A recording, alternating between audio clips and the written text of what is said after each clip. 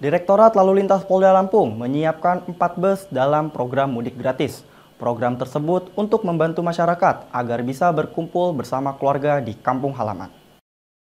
Wadir Lantas Polda Lampung AKBP Muhammad Ali mengungkapkan, sudah ada 150 pendaftar sejak dibuka pada 21 Maret lalu. Pihaknya masih melakukan seleksi dan pendataan untuk memenuhi kuota.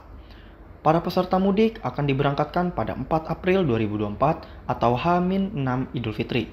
Namun, Ditlantas Polda Lampung hanya memfasilitasi keberangkatan pemudik.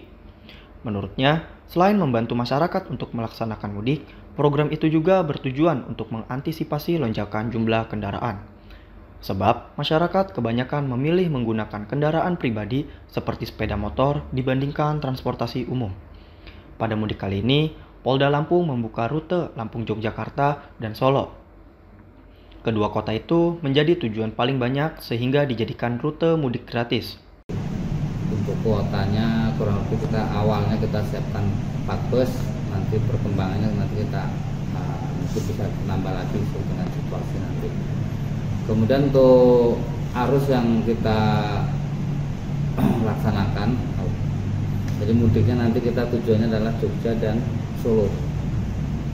Ada yang ke Jogja dan juga ada yang ke Solo. Kita pada saat nanti sebelum Lebaran. Pendaftaran sudah dibuka dari kemarin. Mm-hmm. sampai kuota terpenuhi artinya kemampuan kita nanti dalam menyiapkan bus. Karena bus ini pada saat menjelang lebaran kan sudah banyak yang diplot sama orang karena memang permintaan dari masyarakat cukup tinggi sehingga ya kemampuan kita dalam nanti menyiapkan tes yang ada di sini. Untuk mendaftar menjadi peserta mudik gratis, masyarakat cukup mengumpulkan foto KTP satu lembar serta fotokopi kartu keluarga satu lembar kepada petugas di kantor Ditlantas. Dari Bandar Lampung, Umar Robani, Metro TV Lampung.